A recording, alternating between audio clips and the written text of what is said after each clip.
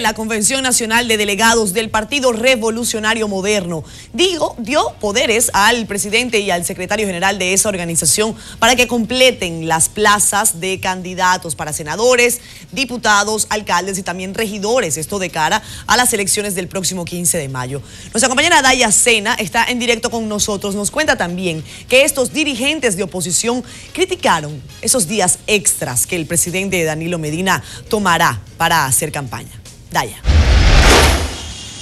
Hola, ¿qué tal? Buenas noches. Si es que el Partido Revolucionario Moderno, durante su séptima Convención Nacional Extraordinaria, aprobó 10 resoluciones, entre las cuales se encuentran otorgarle poderes tanto al presidente como al secretario general de esta organización para que estos escojan las plazas restantes a puestos selectivos. Además, se ratificó la candidatura a la vicepresidencia de Carolina Mejía por el partido. Se nombraron comisiones hace ya un tiempecito, a responsables de los principales dirigentes para ayudar en cada municipio, en cada provincia del país, a la confección de los documentos necesarios para eso.